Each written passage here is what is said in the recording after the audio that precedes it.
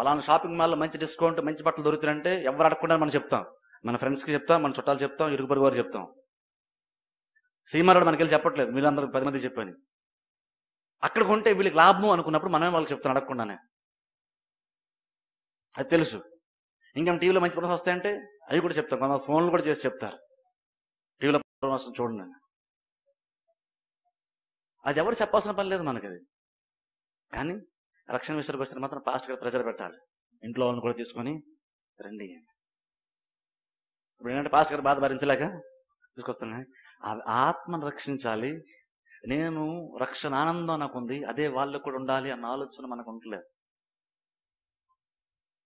మిగిలిన విషయాలు మనకి ఎవరు ఇంకోళ్ళు చెప్పండి. పబ్లిసిటీ చేయండి. ఎవరు చెప్పట్లేదు. టీవీ వాళ్ళు షాపింగ్ మాల్ వాళ్ళు చెప్పట్లేదు. మనమే చేస్తున్నాం. ఫ్రీగా చేస్తున్నాం వాడికి పబ్లిసిటీ కానీ ఇక్కడ ఆత్మ విషయాలకు వస్తారు మాత్రము. సింబల్ దేని మీద మాత్రం చేస్తున్నాం మనం. ఆ దేవుడు వాడుగా పనిచేస్తే వద్దులేండి కార్యం అంటున్నాం ఉదాహరణ కాదు ఇక్కడ వెళ్ళి పేతుర్ని ఆంధ్రయ తీసుకుని వచ్చాడు. ఎప్పుడు కూడా రక్షణ అనే విషయానికి వచ్చేసరికి ఫ్యామిలీలో ప్రతి వారు కూడా అలా ఆలోచన చేయాలి.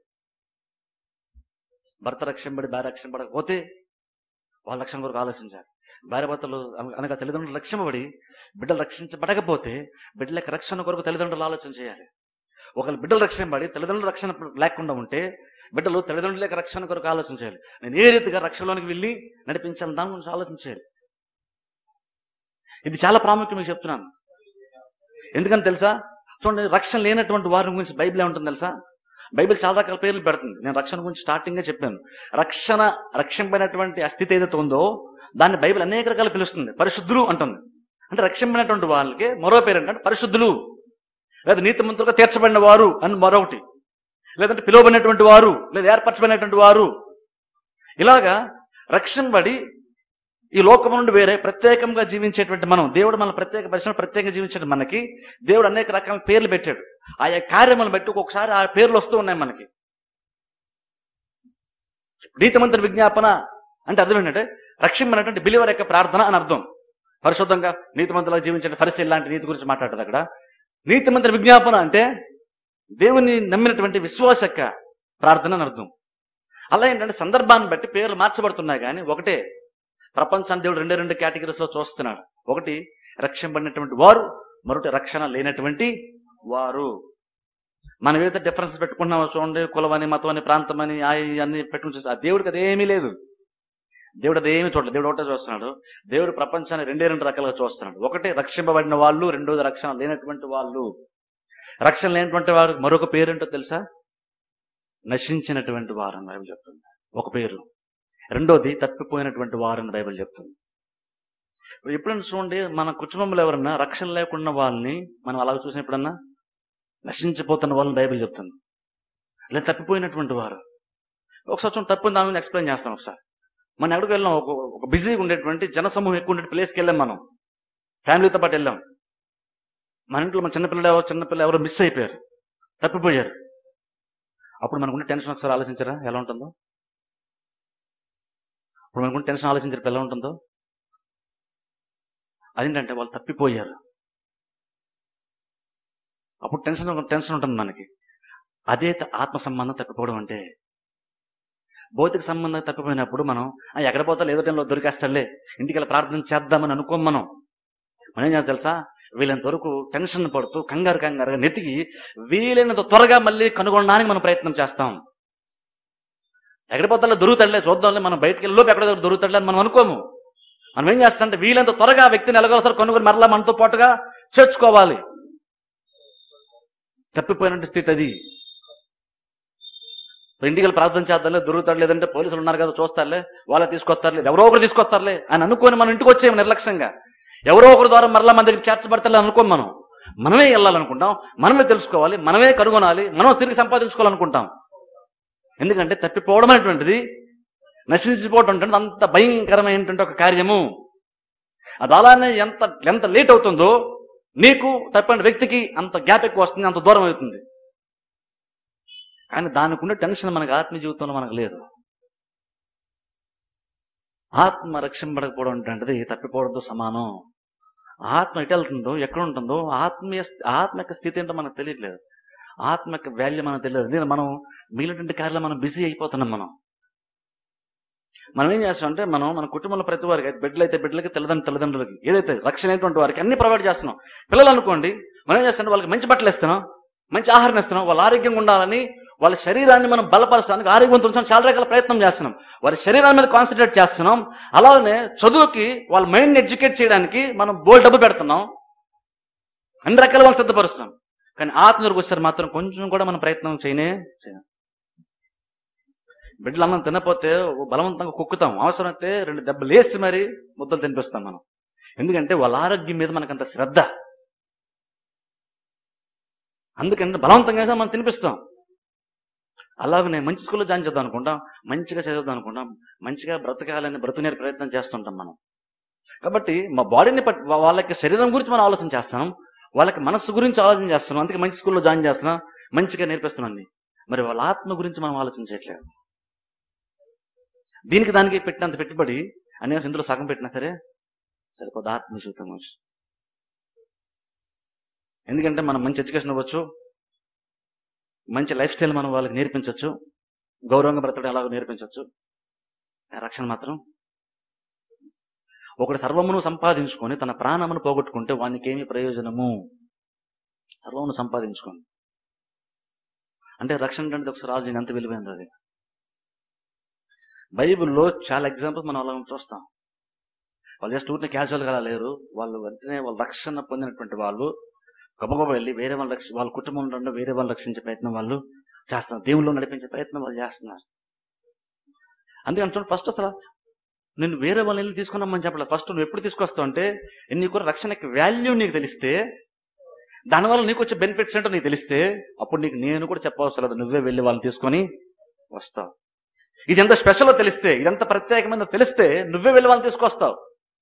అన్నిట్లాంటిది ఇది కూడా అనుకుంటే నువ్వు వెళ్ళి చెప్పా ఇది చెప్పాలంత అవసరం లేదని నువ్వే అనుకుంటావు. కానీ ఇది ప్రత్యేకమైందని నీకు అనిపిస్తే ఖచ్చితంగా ఎవరు చెప్పకుండా నువ్వే వెళ్ళి చెప్తావు. ఎందుకంటే నేను అనుభవించేది నా కుటుంబ సభ్యులు కూడా అనుభవించాలని నాకు అనిపిస్తుంది కాబట్టి. చూడండి ఒక వాక్య భాగాన్ని. ఇక్కడ చూడండి పౌలు శీలలు ఇక్కడ జైల్లో ఉంటారు. అపోస్తల కార్యము పదహారో అధ్యాయం. పౌలు శీలలు జైల్లో ఉన్నప్పుడు వాళ్ళకి ఇంట్రగేషన్ జరుగుతుంది. జైల్లో ఉన్నప్పుడు వాళ్ళు పాటలు పాడుతూ దేవుని స్థుతిస్తున్నారు జైల్లో. ఉన్నప్పుడు అక్కడ దేవుడు అక్కడ వచ్చి అక్కడ చరసాల చెరసాల తలుపులన్నీ కూడా తెరబడతాయి తెరబడినప్పుడు అక్కడ ఉండేటువంటి అధికారి ఏం చేస్తాడంటే ఆ స- ఆ కాపలా కాసే అధికారి ఏమనుకుంటాడంటే ఇవన్నీ కూడా ఈ డోర్స్ అన్ని కూడా ఓపెన్ అయిపోయినాయి కాబట్టి ఆయన ఏమనుకున్నాడంటే ఖచ్చితంగా జైల్లో ఉన్న ప్రతి వాళ్ళు కూడా అవకాశం దొరికి తప్పించుకుంటారు. తలుపు తీయబడి ఉంటే ఖచ్చితంగా పారిపోతారు. వాళ్ళు అక్కడ ఎలా ఉన్నా ఉండరు. కాబట్టి వెంటనే అధికారి ఏమనుకున్నాడంటే ఖచ్చితంగా వీళ్ళు కూడా జైల్లో ఉండదు తప్పిపో తప్పించుకోవడానికి అవకాశం ఉన్నప్పుడు ఎవరు కూడా కోరిండి జైల్లో ఉండరు. సహజంగా జరిగేదే. కాబట్టి ఏమన్నాడు అంటే పౌల సెల్లో కూడా అలాగే ఎస్కేప్ అయిపోతారు అనుకున్నాడు. అనుకొని కనీసం వాళ్ళు ఉన్నారు లేదు కూడా చెక్ చేయడానికి ఇష్టపడలేదు. వెంటనే కత్తి తీసేసి చంపేసుకుందాం అంటున్నాడు. ఎందుకంటే రోమా రో- రోమన్స్ అంటే రోమా ప్రభుత్వం చాలా స్ట్రిక్ట్గా ఉంటుంది విషయాల్లో. ఒక ఖైదీ తప్పించుకున్నాడంటే ఖచ్చితంగా ప్రాణం తీసేస్తారు వాళ్ళు. ఎందుకంటే ఒక ఖైదీ కూడా తప్పించుకోవడానికి వీలు లేదు. అందుకు వెంటనే ఇంకా వెనక్కి కూడా ఆలోచించలేదు ఎందుకంటే వీళ్ళు తప్పించుకుంటే ఖచ్చితంగా జరిగేటట్టు నాకు ఆ ఉదయాన్నే ఏం జరుగుతుందంటే ఈయన ఖచ్చితంగా తల నరికేస్తారు. అందుకని వాళ్ళు చంపేసే లోపు నేనే చచ్చిపోతే బాగుంటుందని కత్తి తీసి దూసుకుందాం అనుకున్నప్పుడు పౌలు సెల్ ఆఫ్ చేస్తారు. ఆఫ్ ఇప్పుడు మాట అంటారు. చదువుకుందాం చూడండి. ఇరవై ఎనిమిదో వచ్చిన ఇప్పుడు ఇక్కడ పౌలు సువార్త చెప్పనే లేదు. గమ- గమనించండి. పౌలు నోరు తెరిచి ఏసు దేవుడు నమ్ముకొని పది సార్లు చెప్పలేదు ఇక్కడ. మనం సేపు చెప్పడం గురించి ఆలోచన చేస్తున్నాం? అంటాను చూడండి నువ్వు నోరు తెరిచి చర్చికి రండి అని చెప్పడం కంటే లేదంటే దేవుడు నమ్ముకుని నువ్వు స్వార్థ నోరు తెరిచి ప్రకటన కంటే అంతకంటే బలంగా మనిషి హృదయంలో పనిచేసే కార్యం ఏంటో తెలుసా? ఒక రక్షింపినటువంటి బిలీవర్ కరెక్ట్గా బ్రతికితే నీ బ్రతుకును చూసి వాళ్ళే ఇది కోరుని వాళ్ళు కూడా నీ దగ్గరికి వస్తారు. జీవితం అంటే అలా బ్రతకాలి. బిలీవర్ ఎలా బ్రతకాలో తెలుసా? దే- దేవుడు చర్చికి రండి చర్చి రండి నువ్వు చెప్పడం కాదు. నువ్వు లైఫ్ స్టైల్ చూసినప్పుడు నీ జీవిత విధానాన్ని చూసినప్పుడు నువ్వు బ్రతికి బ్రతుకుని చూసినప్పుడు వాళ్ళు కూడా నాలా నాకు ఇలాంటిది ఉండాలని వాళ్ళకి అనిపిస్తుంది. మనం మనం కనుక యవనస్తులు కరెక్ట్గా ఉంటే కొంతమంది తల్లిదండ్రులు మనం కరెక్ట్గా ఉంటే ఈ సంఘంలో యవనస్తులు కరెక్ట్గా ఉంటే యవనస్తులతో ఉన్నటువంటి పిల్లలతో ఉన్నటువంటి తల్లిదండ్రులు కూడా మన దగ్గరికి వాళ్ళని పంపిస్తారు. ఎందుకు నీ లైఫ్ స్టైల్ చూసినప్పుడు ఇలాగే నా బిడ్డలు కూడా ఉంటే బాగుంటుందని వాళ్ళకి అనిపిస్తుంది. వాళ్ళు అనిపించినప్పుడు వాళ్ళే మన చర్చికి ఖచ్చితంగా పంపిస్తారు. ఎందుకంటే మంచి పిల్లలుగా ఉండాలంటే ప్రతి తల్లిదండ్రులు ఆశిస్తారు. మన లైఫ్ స్టైల్ కరెక్ట్గా ఉందనుకోండి అందరికి మంచి లైఫ్ స్టైల్ కావాలి. అందరూ మంచిగా బ్రతకాలని. అది కనుక నీలో కనుక చూస్తే నీకు అది ఎక్కడ వస్తుందో వాళ్ళకి తెలిస్తే వాళ్ళు కూడా ఖచ్చితంగా నీ దగ్గరకు వచ్చి దాన్ని తీసుకుంటారు. అది నోరు తెరిచి వంద సార్లు చెప్పడం కంటే నువ్వు జీవితాన్ని జీవించి చూపిస్తే ఇంకా అనేక రెట్ల బలంగా కార్యము పనిచేస్తుంది. ఈ సాక్ష్య జీవితం చాలా ప్రాముఖ్యం ఇక్కడ పౌలు ఇక్కడ వాళ్ళకి చెప్పలేదు. మేము యేసుప్రభు నమ్ముకున్నాం తెలుసు? అందుకని జైలు గోళ్ళలా బద్దలైపోయినాయి. మేము ప్రార్థన చేసాం మేము ఆత్మ సత్యంతో మేము ఆరాధించాం కాబట్టి ఈ గేట్ బద్దలైపోయిందని చెప్పలేదు అక్కడ పౌలు. మేము ఇక్కడే ఉన్నాం నువ్వేం వర్రీ అవ్వద్దు అన్నారు అంతే. ఆయనకి అర్థమైపోయింది. జైల్లో ఉండి రేపు తీర్పులోనికి వస్తారు తీర్పులోనికి వస్తే వీళ్ళ ప్రాణాలు ఉంటాయో లేదో కూడా తెలియదు వీళ్ళు జైల్లో ఉంటే హ్యాపీగా వీళ్ళు బ్రతుకుతున్నారు. వీళ్ళు జైల్లో ఉంటే కూడా రక్షణ ఆనందాన్ని వీళ్ళు అనుభవిస్తున్నారు. నాకు ఉద్యోగం ఉండొచ్చు ఉద్యోగం పోవచ్చు కానీ నాకు ఆ ఆనందం కావాలి వాళ్ళు ఏదైతే అనుభవిస్తున్నారో ఏ స్థితి గురించి అయితే వాళ్ళు వాళ్ళు ఎక్స్పీరియన్స్ చేస్తున్నారో అదే ఆనందం నాకు కూడా కావాలన్నాడు. అందుకే వెంటనే వచ్చి అన్నాడు రక్షణ పొందడం నేనేమి చెయ్యాలి. రక్షణ ఎందుకు మాట్లాడుతున్న వ్యక్తి తెలుసా? పౌలక జీవితాన్ని స్త్రీలక జీవితాన్ని చూసినప్పుడు ఆయనకు అర్థమైంది ఏంటంటే వీళ్ళంత ప్రాబ్లమ్స్లో ఉండి కూడా ప్రాబ్లం చేత వీళ్ళు బాధింపడట్లేదు. అదే రక్షణ ఆనందం అంటే. నేను దాని గురించి కూడా వీళ్ళకి చెప్తాను. రక్షణ ఆనందం గురించి. రక్షణ ఆనందం ఉండొచ్చు రక్షణ ఆనందం కోల్పోవచ్చు కూడా. ఒక వ్యక్తి రక్షణ పొంది ఉండి రక్షణ ఆనందం లేకుండా బ్రతకచ్చు. అందుకే రక్షణ ఆనందం గురించి చెప్తాను. రక్షణ ప్రతి వారికి రక్షణ ఆనందం ఉండదు. నువ్వు రక్షణ ఉంటుంది కానీ రక్షణ ఆనందం ఉండదు. అందుకనే రక్షణ బట్టి నీకు సంతోషం ఉండదు. ప్రాబ్లం ఏంటంటే రక్షణ లేదు కాబట్టి నీకు ఆనందం లేదని కాదు. రక్షణ ఉంది కానీ నీకు దానివల్ల ఆనందం నీకు లేదు. ఇక్కడ పౌరులకి రక్షణ ఉంది రక్షణ ఆనందం కూడా ఉంది. రక్షణ చూసి రాలేదు రక్షణ ఆనందాన్ని చూసి వ్యక్తి అంటున్నాడు నాకు కూడా అలాంటి స్థితి కావాలి. నాకు ప్రాబ్లమ్స్ ఉన్నప్పుడు నేను భయపడకుండా ధైర్యంగా నిలబడాలి. ఇప్పుడు జస్ట్ మీరు తప్ప మీరు తప్పించుకున్నారు అనుకుని నన్ను నేను చంపుకోబోయాను.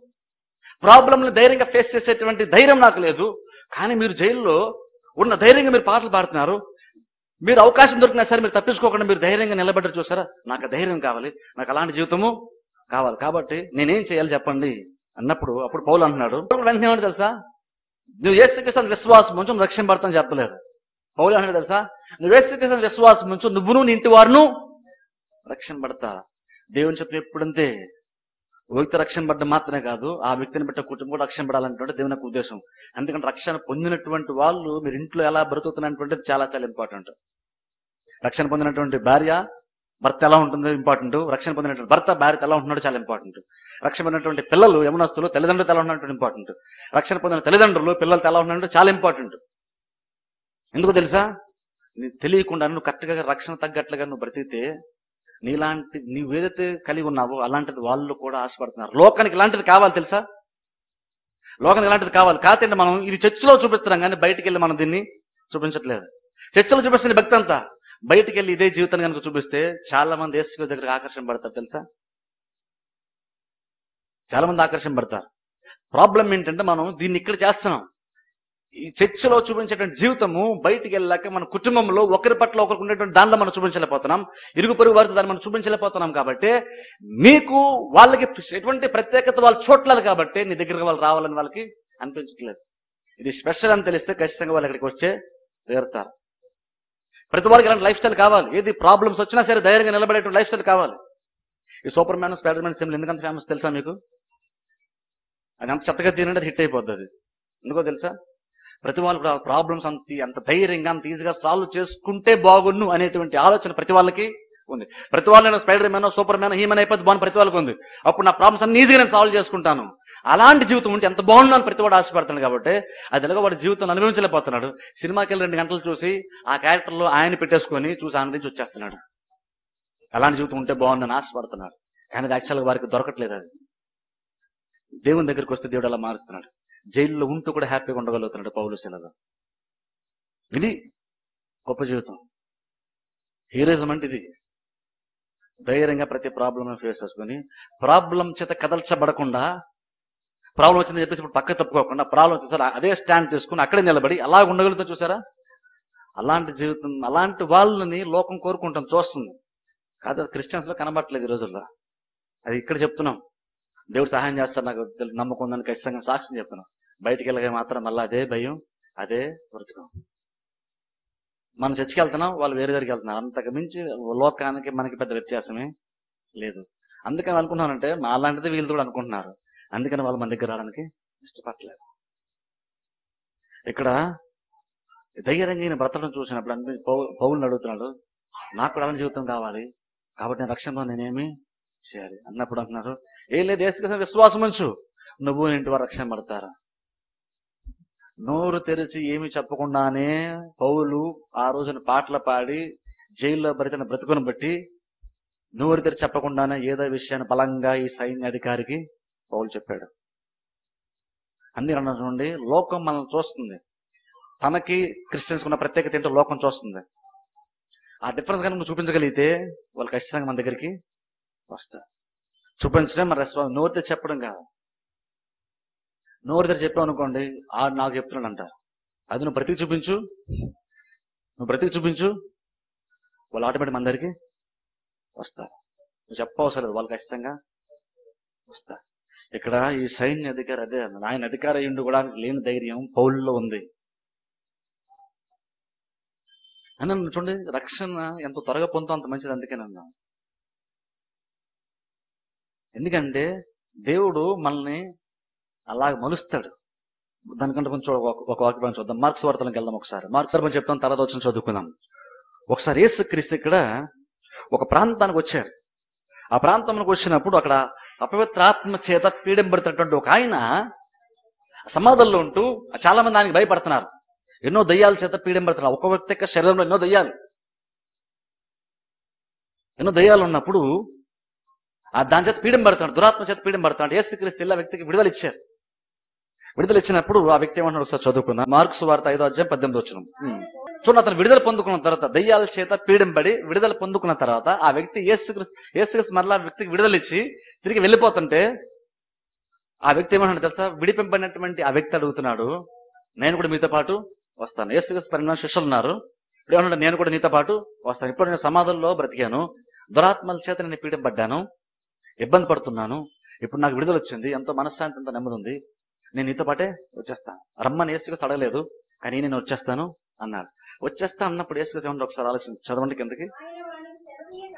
అంటే నువ్వు రమ్మని చెప్పకుండా ఏసుగా ఏమన్నారంటే నీ నీవు నీ ఇంటి వారి యొద్దకు వెళ్ళి చూడు నీవు నీ ఇంటి వారి యొద్దకు వెళ్ళి ప్రభువు నీ ఎందు కనికరపడి నీకు చేసిన కార్యములన్నిటినీ తెలియజెప్పము అని నేను. చాలు చాలు చాలు. వాడు ఇలా పని చేస్తారు అక్కడ. ఈయన ప్రభు నేను వెంబడిస్తాను అన్నాడు ఎందుకంటే నేను ఎలాగనుకుంటే సమాధిలోనే ఇలా శరీరము పాడైపోయేది. నేను ఇక్కడ చచ్చిపోయేవాడిని. కానీ విడుదల ఇచ్చావు. ఎక్కడ నుండి ఈ బ్రతుకు నా కోసం బ్రతను నీ కోసం బ్రతుకుతాను అంటున్నాడు ఆ వ్యక్తి. ప్రభు నేను వెనకాల వచ్చేస్తాను అన్నప్పుడు వేసుకున్నారు లేదు లేదు. నువ్వు అలా కాదు. నువ్వు ఇంటికి వెళ్ళు. ఇంటి వారి దగ్గర నువ్వు వెళ్ళు. ఆలోచించండి. ఏసుక్రీస్తుని వెంబడించాలి అని వ్యక్తి ఆశపడుతుంటే యేసు వద్దు అంటున్నారు ఎందుకో తెలుసా? ఎందుకంటే నువ్వు నా దగ్గర ఇప్పుడు నువ్వు నన్ను వెంబడిస్తూ నా దగ్గర ఉండడం కంటే నువ్వు ఇంటికి వెళ్తేనే ఇంకెక్కువ మేలు జరుగుతుంది. నువ్వు ఇక్కడికి వచ్చావు అనుకో నువ్వు నాతో పాటు ఒకడు ఉన్నావు అనుకో నువ్వు బాగానే ఉంటావు. కానీ నువ్వు ఒక్కడవే బాగుంటావు. నువ్వు బాగుంటావు కానీ ఒక్కడవే బాగుంటావు.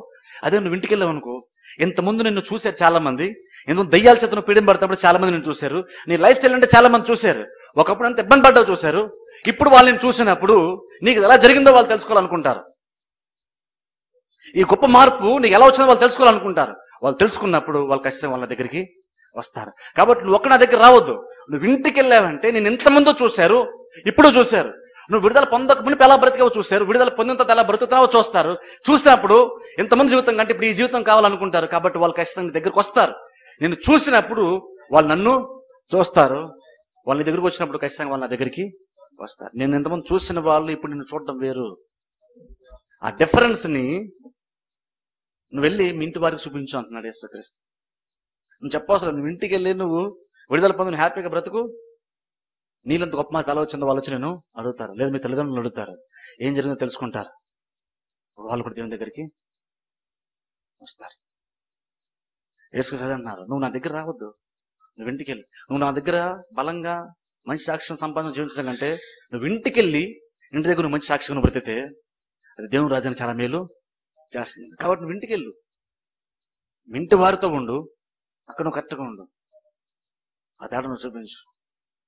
వాళ్ళు ఆటోమేటిక్గా నేను మనం దేవుడు కోరుకునేది కూడా అదే. మనం చర్చకొచ్చే వాక్యం వింటూ అన్యుల్లాగానో లేదంటే ఇతర సంఘస్థలాగానో నామకార్థ క్రైస్తవులాగానో బ్రతుకుతూ మా సంఘం చాలా స్పెషల్ అని చెప్పుకుంటూ ఇంక ఇతరులకి ఇతర విశ్వాసులకి మనకి వ్యత్యాసమే లేదనుకోండి వాళ్ళు ఖచ్చితంగా ఇక్కడ రారు. వాళ్ళు ఇక్కడ రారు. ఎందుకంటే వాళ్ళ దగ్గర లేని దీని దగ్గర ఉంటేనే వాళ్ళ దగ్గరికి వస్తారు. ఆ రక్షణ పడక మునుపు రక్షణ పడిన తర్వాత డిఫరెన్స్ క్లియర్ మనం చూపించాలి. ఆ డిఫరెన్స్ క్లియర్గా కనబడాలి మనకి. ఆ డిఫరెన్స్ క్లియర్ కనబడాలి. అది కనబడితే నీలో బలంగా ఏదో జరిగిందనే విషయం వాళ్ళకి అర్థమవుతుంది. అప్పుడు వాళ్ళు ఏం జరిగిందని అడుగుతారు నీ దగ్గరికి? వస్తారు. నువ్వు అప్పుడు చెప్పినప్పుడు అప్పుడు వాళ్ళు ఖచ్చితంగా దేవుని దగ్గరికి వస్తారు. నువ్వు వెళ్ళి పది మందికి చెప్తుంటే నువ్వు బుర్ర తింటున్నావు అనుకుంటా. కానీ అదే నీకేం జరిగిందో తెలుసుకోవడం వాళ్ళే వచ్చారు అనుకోండి అప్పుడు నువ్వు రెండు మాటలు చెప్పు వాళ్ళే వెతుక్కుంటే ఇంట్రెస్ట్ వచ్చారు కాబట్టి నువ్వు రెండు మాటలు చెప్పినా రెండు మాటలు బలంగా పనిచేస్తాయి. బలంగా పనిచేస్తాయి. అందుకే యేసుక్రీస్తు అంటున్నారు నువ్వు నా దగ్గర రావద్దు. నువ్వు ఇంటికి వెళ్ళు.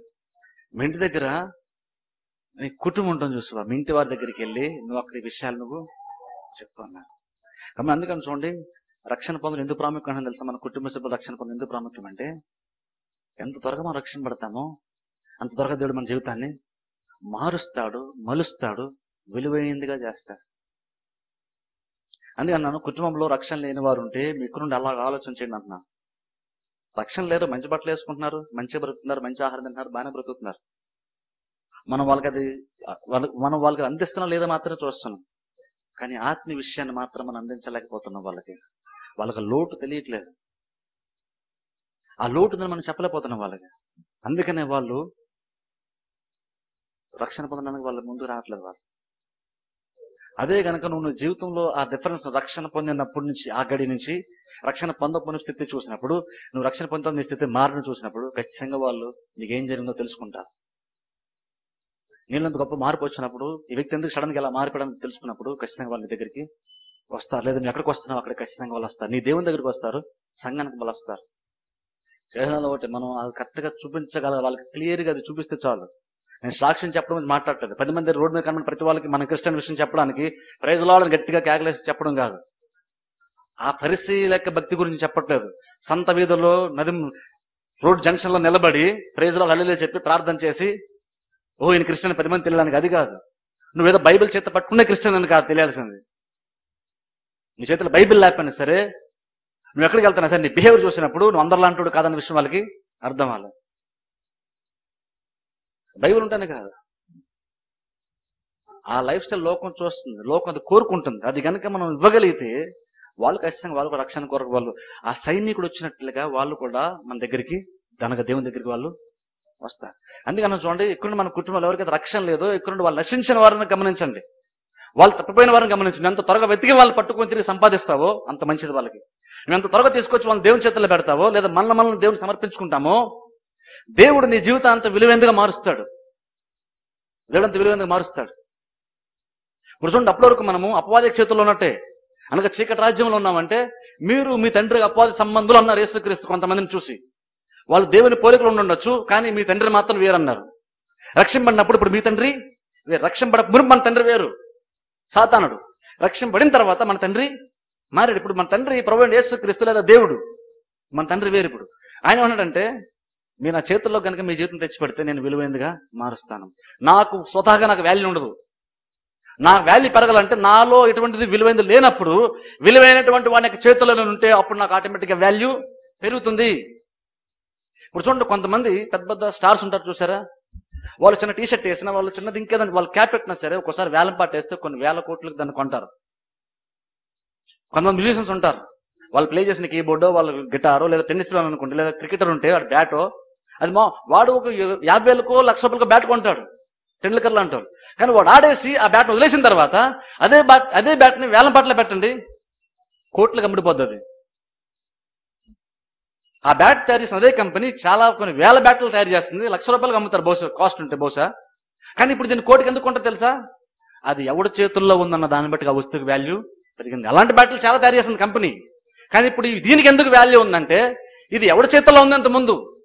ఆ వ్యక్తిని బట్టి ఆ వస్తువుకి విలువ పెరిగింది. మీకు కానీ నాకు కానీ ఇండివిజువల్గా మనకి వాల్యూ లేదు. మనకంత విలువ లేదు. అనుకుంటాం నాకు చాలా గౌరవం ఉంది అనుకుంటాం. నీకు అంత సీన్ లేదు. మనకి ఎవరికి లేదంత. కానీ గొప్పవాడు ఏంటంటే దేవుని చేతుల్లో గనుక మనం వెళ్ళి మనం పెట్టినాం అనుకోండి నువ్వు ఆయన చేతులు ఉన్నప్పుడు నువ్వు ఎవరి చేతుల్లో ఉన్న దాన్ని బట్టి ఆయన్ని బట్టి నువ్వు ఆయన చేతులు వస్తువుగా ఉన్నప్పుడు ఆయన్ని బట్టి నీకు వాల్యూ ఒకప్పుడు నాకు వాల్యూ లేదు. కానీ ఇప్పుడు దేవుని చేతులకు వచ్చాక నాకు ఆటోమేటిక్గా విలువ పెరుగుతుంది.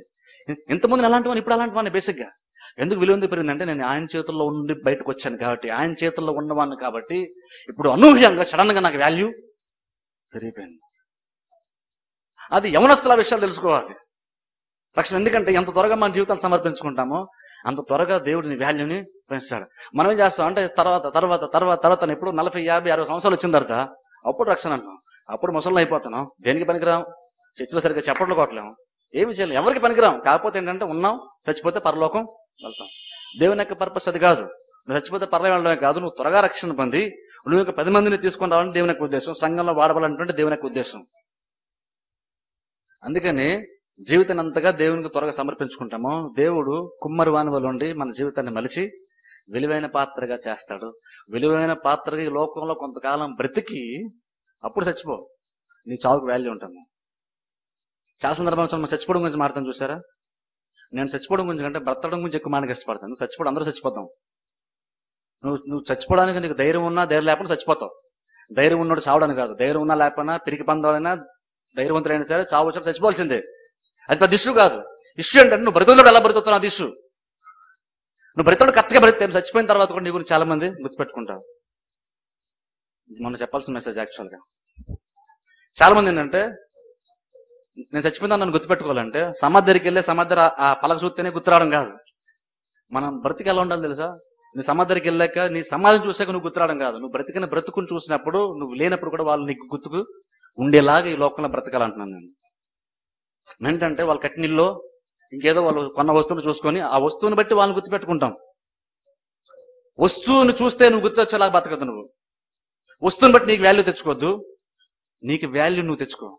అంటే కరెక్ట్గా నువ్వు బ్రతికితే చచ్చిపోయిన తర్వాత నీ వస్తువులు ఏమి చూడకపోయినా సరే నువ్వు వాళ్ళకి ఏది ఆస్తి అవ్వకపోయినా సరే నీ లైఫ్ చూసినప్పుడు వాళ్ళు ఎప్పటికీ నువ్వు గుర్తు ఉంటావు. సమాధి మీద నీ పలకను నీ పేరును చూస్తే నీ ఫోటోను చూస్తే గుర్తురావడం కాదు. అలా బ్రతకడం నేర్చుకోవాలంటాను నేను.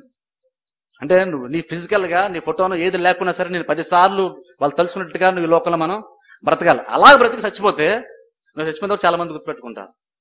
ఎలా పడితే అలా బ్రతికి చచ్చిపోయినప్పుడు అందరూ గుర్తుపెట్టు అందరూ గుర్తుపెట్టుకోండి. నాకు ఇచ్చండి వచ్చండి చెప్పిన మాత్రం ఎవరిని గుర్తుపెట్టుకోరు. కరెక్ట్గా బ్రతకండి ఆటోమేటిక్గా వాళ్ళే గుర్తుపెట్టుకుంటారు. జీవితానికి అది కావాలి మనకి. అలాగ బ్రతకాలంటాను నేను. అందుకనే చూడండి రక్షణ పొందామంటే రక్షణ పొందిన తర్వాత నుంచి అంత గొప్ప మార్పు మనలో కనబడాల్సి ఉంటుంది. అది కనబడితే వాళ్ళే ఆటోమేటిక్ మన దగ్గరకు వస్తారు. నువ్వు వెళ్ళి చెప్పాల్సిన పని లేదు వాళ్ళే మన దగ్గరకు వస్తారు. అందుకే ఎక్కడున్నైనా సరే అలా ఆలోచించాను నేను ఇంటి వారిని యహోవాను సేవించేదము. నీవు నింటో రక్షింపడతారని పౌలు చెప్తున్నాడు. యేసు అన్నారు నువ్వు ఇంటికి వెళ్ళు. నీ సహోదరుని కుటుంబం వాళ్ళ దగ్గరికి వెళ్ళు. నీలో జరిగిన మార్పు వాళ్ళు చూస్తే వాళ్ళు కూడా అప్పుడు ఆటోమేటిక్గా మీ వస్తారు.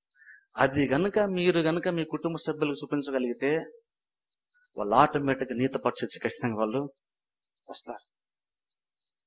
ప్రతి వాళ్ళు అలా బ్రతకరు ప్రతి వారికి అలాంటి బ్రతుకు కావాలి. కానీ అలాంటి బ్రతుకు ఎలా బ్రతకగలం వాళ్ళకి తెలియదు నువ్వు అది బ్రతికి చూపిస్తే నీ గతం వాళ్ళకి తెలుసు. ఇప్పుడు నువ్వు చూస్తున్నారు నువ్వు ఎంతమంది అలా ఉండేవాడివి. ఇప్పుడు ఇంత గొప్ప బ్రతుకుతున్నావు అంటే నాకు అలాంటిది కావాలన్నప్పుడు వాళ్ళు ఖచ్చితంగా దగ్గరికి ఆ డిఫరెన్స్ మనం చూపించగలగాలంటున్నాను మన లైఫ్లో ఆ తేడా రక్షణ మునుపు రక్షణ పొందిన తర్వాత ఆ తేడా మీరు చూపించండి మీ లైఫ్ సక్సెస్ఫుల్ అని అంటాను. నువ్వు వాళ్ళకి ఇతరులకు ఏది నువ్వు నోటితో చెప్పకపోవచ్చు నువ్వు కుటుంబంలో వారికి నువ్వు ఆస్తి ఇవ్వకపోవచ్చు కానీ నువ్వు ఒక క్రిస్టియన్ అలా బ్రతకాలను నువ్వు చూపించావంటే నువ్వు అదే గొప్ప సంపాదన నీ కుటుంబ సభ్యులకి ఇచ్చినట్టే. వాళ్ళు నిత్యం దాన్ని గుర్తుపెట్టుకుంటారు. నువ్వు ఎలా బ్రతికేవో పరిస్థితులు నువ్వు ఎలా రియాక్ట్ అవ్వ చూస్తారు. వాళ్ళు చూసినప్పుడు నువ్వు చచ్చిపోయిన తర్వాత కూడా పలానా వాళ్ళు అలా రియాక్ట్ అయ్యారు కాబట్టి నేను కూడా ఇప్పుడు అలాగనే బ్రతకాలి అని వాళ్ళు నిన్ను బట్టి వాళ్ళు కూడా కట్ట నడుచుకుంటారు. అందుకని ఈ లోకంలో మనం ఎలా బ్రతుకుతున్నాం చాలా చాలా రక్షణ పొందిన మనము రక్షణ లేని వారిని ఎలా చూడాలో చూడండి. వాళ్ళు నశించిపోయారు. వాళ్ళు తప్పిపోయారు నీకు అలా ఫిజికల్ దేవుడు అంటే నువ్వు వాళ్ళని పిలుచుకొచ్చి వాళ్ళని ఏదో చేసి వాళ్ళని బలవంతం చేసి ఏదో చర్చకి తీసుకొస్తే వాళ్ళు వింటారు వాళ్ళ వాక్యం విన్నప్పుడు వాళ్ళ హృదయంలో కార్యం జరుగుతుంది. నువ్వు చేసిన దాన్ని దేవుడు సఫలపరుస్తున్నాడు. నువ్వు చేయకుండా దేవుడు సఫలపరుస్తాను దేవుడి దగ్గర ఏది లేదు. నువ్వు చేస్తేనే సఫలపరుస్తున్నాడు. నువ్వు అది చెయ్యు. నీ కుటుంబ సభ్యులకు నువ్వు ప్రయాసపడు. ఏదో రకంగా వాళ్ళని చర్చకి తీసుకొనిరా ఏదో రకంగా ప్రయత్నం చేయి. త్వరలోనే వాళ్ళు ఖచ్చితంగా రక్షణ. ఉంటారు. ఎందుకంటే నువ్వు చేసే దాన్ని దేవుడు సఫలపరుస్తా అన్నారు అందుకని ఎక్కువ అలాగే ఆలోచించు నేను రక్షణ పొందాను అయిపోయింది అనుకోండి. అందుకని భర్త ఆత్మీయస్థితి పట్ల భార్య రెస్పాన్సిబిలిటీ ఉంటుంది భార్య ఆత్మీయ జీవితం పట్ల భర్త రెస్పాన్సిబిలిటీ ఉంటుంది. బిడ్డలకు ఆత్మీయ జీవితం పట్ల తల్లిదండ్రులకు రెస్పాన్సిబిలిటీ ఖచ్చితంగా ఉంటుంది. అది కాదనలేని సత్యం అది. అలా మనకుండా బాధ ఒకరి పట్ల ఒకరు బాధ్యత కలిగి బ్రతకడం నేర్చుకోండి. ఎందుకంటే దేవుడు అంటున్నాడు ఇంటి వారు మీరు ఒకసారి పక్కన పడేస్తున్నారు భార్యను లేదు భర్తను లేదు బిడ్డలను దేవుడు అలా నిన్ను చూస్తున్నప్పుడు నీతో పాటు నీ కుటుంబాన్ని కూడా దేవుడు ఐడెంటిఫై చేస్తున్నాడు. నిన్ను చూస్తున్నప్పుడు నీ కుటుంబంతో పాటు నేను చూస్తున్నాడు. కానీ ఒక్కరిని ఇండివిజువల్గా దేవుడు చూడలేదు నువ్వు కూడా ఇక్కడ నలగా చూడు. నిన్ను నీ గురించి నువ్వు చూసుకునేటప్పుడు నీ కుటుంబంతో పాటుగా చూసుకోవాలి నువ్వు. ఇందుడు అందుకనే వాళ్ళు కాదు నా నా లైఫ్ నాకు అవసరం దాన్ని నేను ఆలోచించను. నేను కుటుంబంతో పాటు ఆలోచిస్తాను. నా అవసరం తీర్చబడ్డం కంటే ముందు నా కుటుంబంలో అవసరం తీరుతుందో చూస్తాను. వాళ్ళతో పాటుగా నా అవసరత కూడా తీరితే పర్లేదు కానీ వాళ్ళకి అవసరం తీరపని పర్లేదు. నాకు తీరుతుందా లేదంటే ఎప్పుడు చూసుకోకూడదు ఫ్యామిలీ అన్న తర్వాత. కలెక్టివ్ గానే ఆలోచన చేయాలి. ఆత్మీయ విషయాలైనా అన్ని విషయాలైనా సరే అంతే. అలాగ ఆలోచించండి. రక్షణ లేనటువంటి వారిని రక్షణ నడిపించడానికి ప్రయత్నం చేయండి. ఎందుకంటే వాళ్ళు నశించిపోతున్నారు. వాళ్ళకి సడన్గా ఏదో జరిగి వాళ్ళు చనిపోతే వాళ్ళు నరకానికి వెళ్తారు. చూస్తూ చూస్తూ నువ్వే నీ కుటుంబ సభ్యుల్లో ఒకరి నరకాన్ని పంపించడం అవుతాం. అందుకని నశించి